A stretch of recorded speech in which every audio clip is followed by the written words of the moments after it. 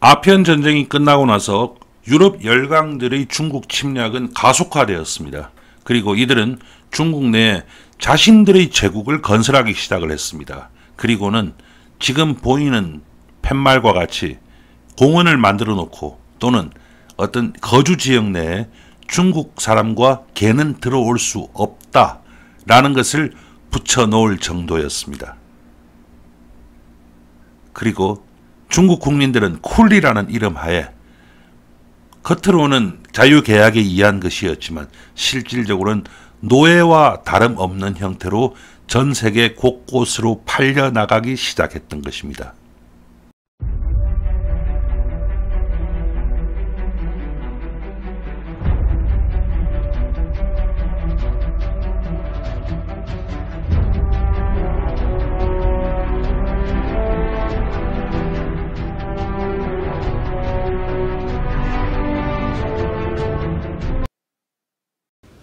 안녕하십니까 유일입니다.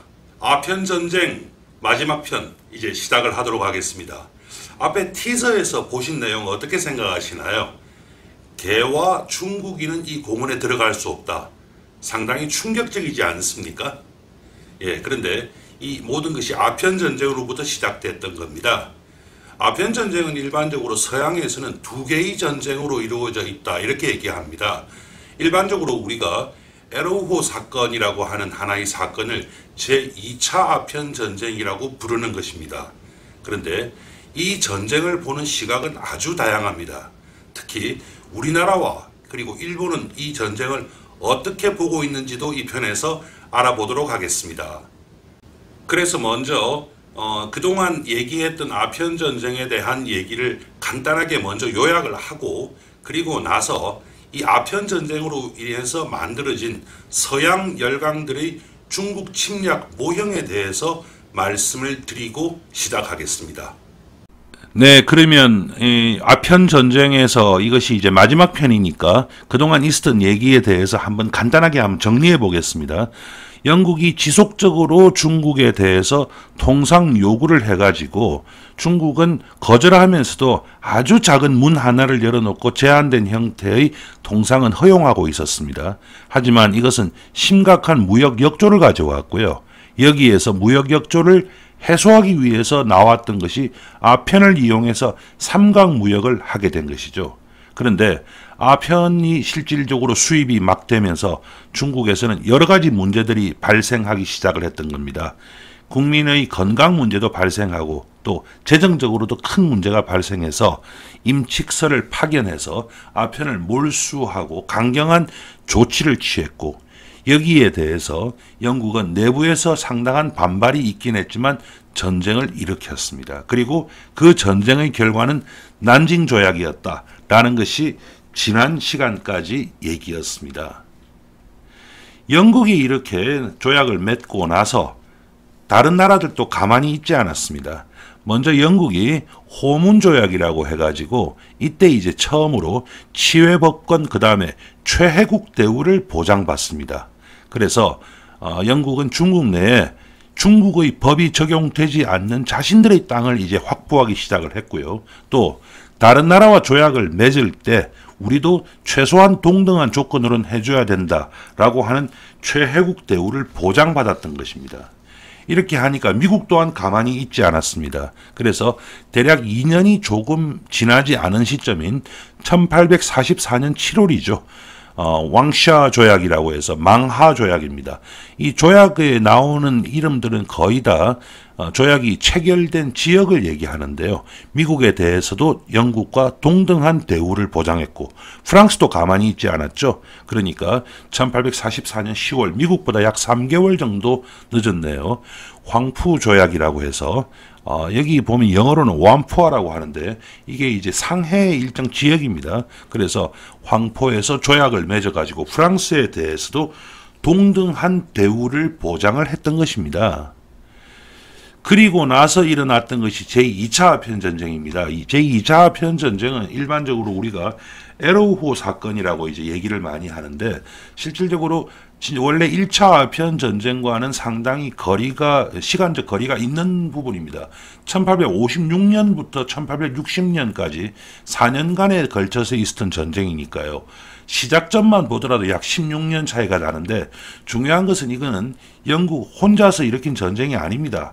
영국하고 프랑스가 공동으로 일으킨 전쟁이죠.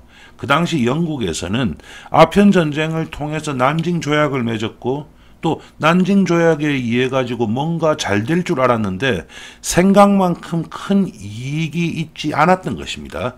그러니까 난징 조약 개정을 요구했습니다. 그것이 1854년인데요. 이 상황에서 에로우호라고 하는 배가 있었습니다. 이 배에 어, 타고 있던 선원들이 있었는데 실제로 이 선원들은 해적들이었습니다. 그런데 이 해적을 단속하겠다고 청나라 관리들이 배를 올랐고 그 관련 상황 어, 상황 속에서 어, 영국 국기가 모욕을 당하는 모욕을 당하는 게 별게 아니고 자 이 배에는 주로 청나라 범인들이 타고 있으니까 범죄인들이 타고 있으니까 국기를 내려라라고 요구를 했던 것이죠.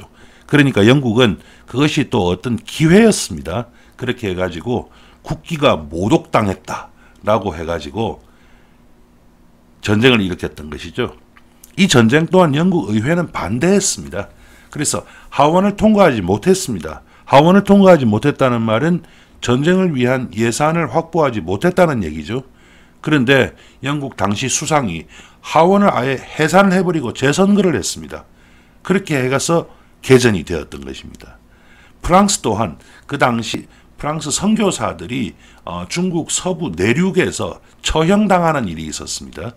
이것이 핑계였습니다. 그래서 프랑스와 영국이 연합군을 결성해서 먼저 광저우를 점령하고 그 다음에 북상해가지고 천진, 텐진의 시내까지 점령하는 일이 벌어졌습니다. 이 결과 또 조약이 맺어졌죠. 그 조약이 천진 조약, 텐진 조약입니다. 그래서 이 내용은 또 훨씬 더 어, 중국 입장에서는 치욕적입니다. 영국, 프랑스는 물론이고 러시아, 미국 외교관까지 베이징 내에 상주한다. 그 다음에 지난번 난징 조약에서 다섯 개 항구를 개항했는데요. 열 개 항구를 개항하고 또 양쯔강에 배가 마음대로 오갈 수 있다. 그리고 이제 배상금도 양국 각각 받게 되고 또 배상금을 지불할 때까지는 광저우를 계속 점령한다라고 했는데 실제로 그 이후에 광저우는 거의 언제나 외국 사람들의 영향력 하에 있었다라고 얘기해도 큰 지장이 없습니다. 이렇게 해서 이제 서양 열광들은 아, 중국 침략 모델을 완성하게 됩니다. 일단 문제가 발생하죠. 문제가 발생한다는 것은 문제를 자신들이 촉발한다는 얘기입니다. 이렇게 해서 그것을 얘기 어, 이유로 해서 군사 행동을 개시하고 군사 행동을 조금 한 다음에는 반강제로 협상이 체결 협상이 시작됩니다. 그렇게 되면 조약이 체결되죠. 조약에는 거의 언제나 영토 그리고 배상금이 들어갑니다. 그런데 영토는 최혜국 대우가 이 나라 저 나라에 다 주어졌기 때문에 한 나라하고 사인을 하면 제3국이 또 덤벼서 우리도 같은 조건으로 해달라라고 얘기를 합니다. 그리고 배상금은 당시 청나라 재정이 배상금을 줄 만한 수준이 아니었거든요. 그러니까 배상금을 미지급하면 추가적으로 침략을 하고 또 이것을 차관으로 전환을 해줍니다. 즉 원래 받아야 될 돈을 빌려준 돈으로 전환을 해버리고 그것을 근거로 해서 이권을 획득하게 되는 것입니다.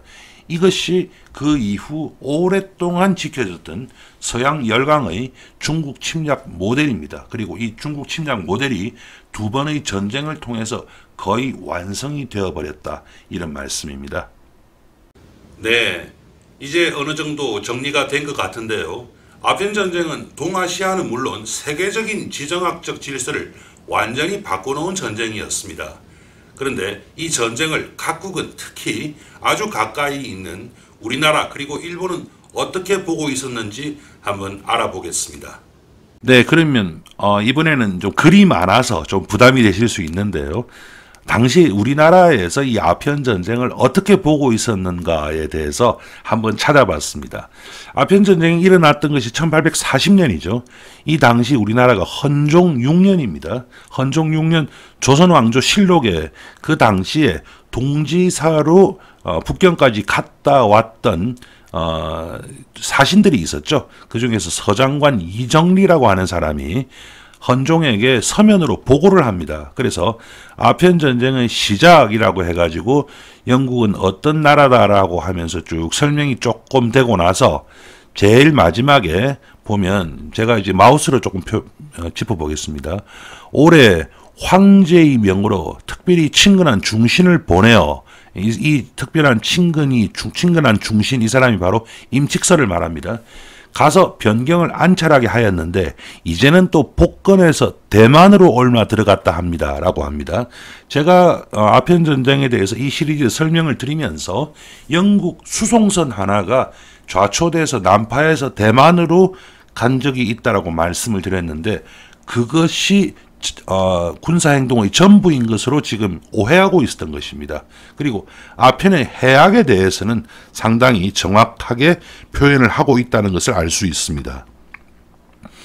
그리고 나서 이 다음 그 철종 12년 1861년 제 2차 아편 전쟁, 이제 2차 아편 전쟁이 거의 이제 끝나고 나서 사인까지 조약의 사인까지 다 하고 나서 그때도 동지사는 갔었죠. 그 동지사에게 어, 철종 임금이 중국의 비적은 어떠하며 인심은 어떠한지 얘기해봐라 라고 하니까 뭐라고 했느냐 하면 처, 빨간색으로 제가 표현을 했는데요. 천하가 어지럽지 않다고 이럴 수는 없다.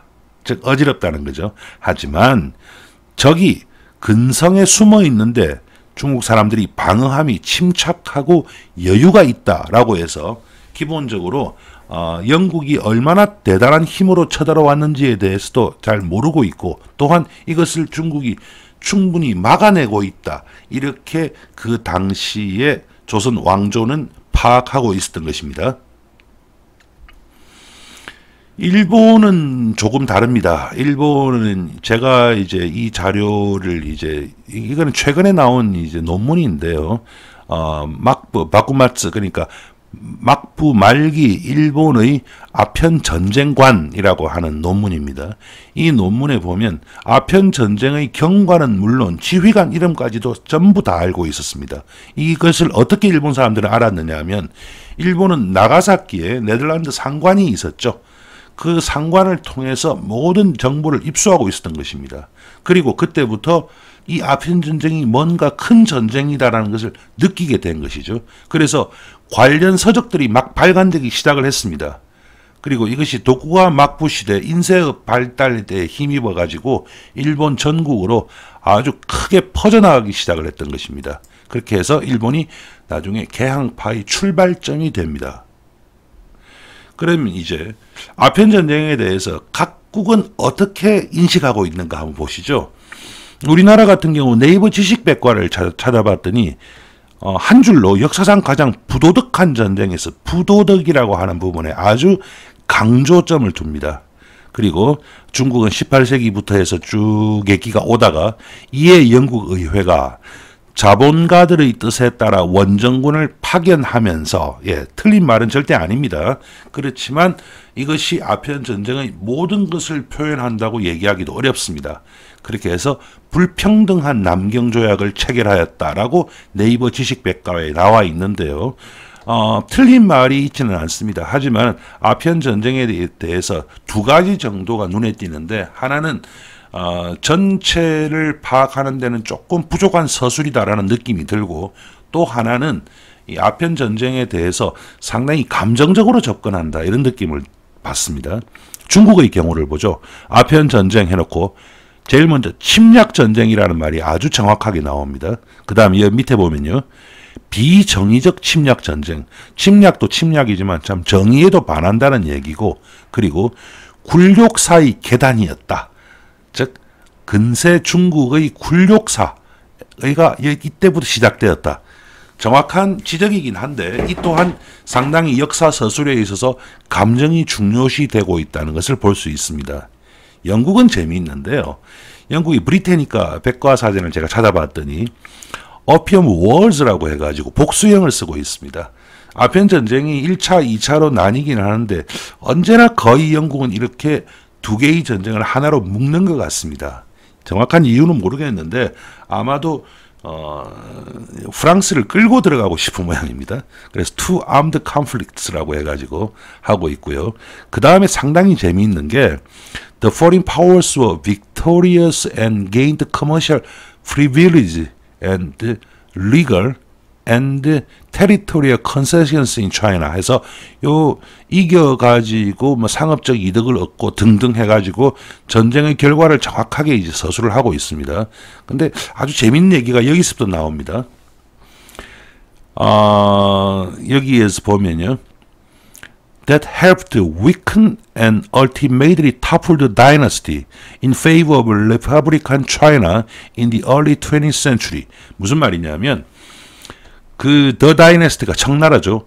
청나라를 약하게 하고 궁극적으로 전복시켜서 전복시키는 것을 도와서 어떻게 됐느냐 하면 20세기 초반 중국이 공화국화 하는데 도움을 주었다라고 표현을 하고 있습니다. 상당히 재미있는 그리고 중국이 보면 상당히 기분 나쁠 만한 얘기입니다. 아편 전쟁 때문에 청나라가 멸망했고 그래서 너네들이 그래도 공화국화 되었던 것 아니냐라고 하는 지극히 서양적인 시각을 가지고 있죠. 일본의 경우 제가 좀 찾아봤는데 어, 학생들이 이제 수업하는 데 쓰는 자료입니다. 세계사 용어 해설 수업과 학습의 힌트라고 하는 부분인데 여기에 보면 상당히 건조하게 1840년에 침략 전쟁이라는 말은 나옵니다. 그런데 일본의 경우에 상당히 재밌는 얘기가 두 번 나오는데요. 하나가 앞에서는 거의 중요시하지 않고 있는 부분 홍콩이 할양되었다라고 하는 것을 상당히 중요시하고 있습니다. 이것은 나중에 일본의 아시아 진출과 관련해서 상당히 중요한 계기가 됩니다. 그 다음에 두 번째, 유럽 세력의 아시아 식민지 제1보였다라고 하는 얘기가 나오는데요.